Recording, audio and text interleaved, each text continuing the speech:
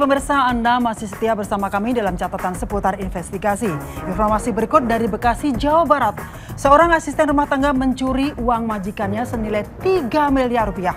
Dalam aksinya, pelaku melibatkan kekasih dan empat teman lainnya demi kebutuhan biaya pernikahan.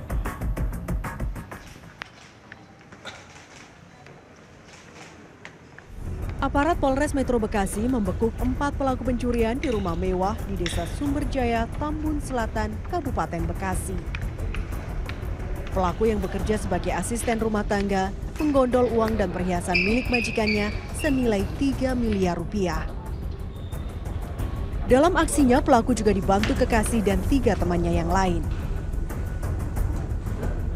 Kepada polisi, pelaku mengaku sudah mengetahui keberadaan uang majikannya di dalam koper yang disimpan di dalam kamar.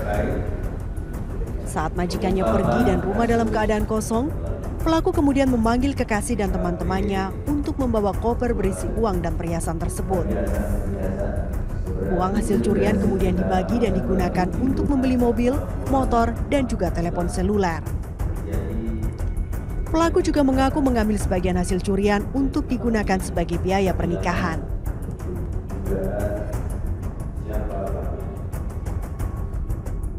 Kenapa? Al al alasannya kenapa? Alasannya Dia kenapa? yang minta duluan Pak, bukan saya. Siapa minta? Saya duluan yang minta itu. Waktu itu dijanji dikasih berapa mbak? Berhasil? Dikasih berapa? Itu hanya marah Pak. Itu pacar.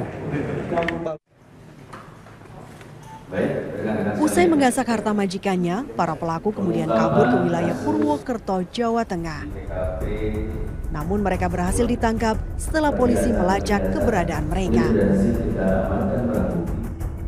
adanya laporan dari pihak korban yang merasa bahwa rumahnya telah terjadi pencurian dengan pemberatan, kemudian mengalami kehilangan ataupun kerugian hampir mencapai 3 miliar rupiah.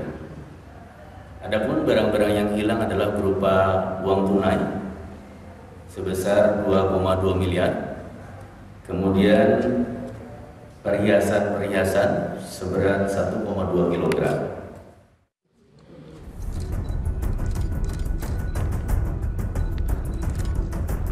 Kini selain empat pelaku, polisi juga menyita uang hasil curian, perhiasan emas, satu unit mobil, dua motor, dan sejumlah telepon seluler.